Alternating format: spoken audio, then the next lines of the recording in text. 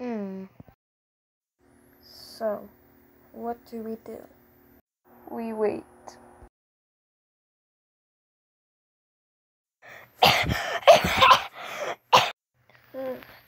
Where am I? Miss Rosie? Are you new here?